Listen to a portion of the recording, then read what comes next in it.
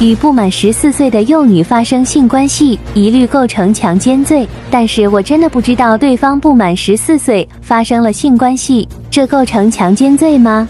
跟不满十四岁的幼女发生关系，那一律是构成强奸。当然，所有的人被抓都会说什么？我不知道，他长得跟罗老师一样高，十三岁，这怎么可能呢？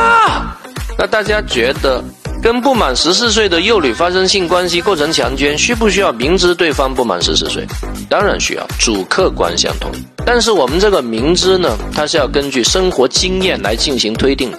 你说你不知道就不知道，那不可能。所以根据司法经验呢，我们划了一个中间线，我们借鉴了普通法系的年龄规定，有一个关键性的年龄是十二岁，跟不满十二岁的幼女发生关系，一律推定有明知。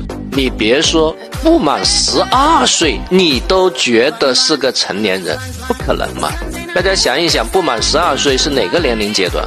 小学生。小学生一看就是很幼稚，对吧？背的书包都是喜羊羊的。但是十二到十四岁这个年龄段，那是初中生，那有没有可能真的看不出来？那是完全有可能的。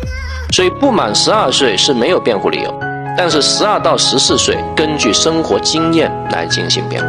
就像我们上海发生的这个案件，这哥们跟一个一米七的女孩发生关系啊，长得还真的跟我差不多高。小妹妹多大了啊？说十八了。两人放心的发生了关系。但这个小姑娘戴着一条红领巾，这戴红领巾什么标志？肯定小孩的标志吗？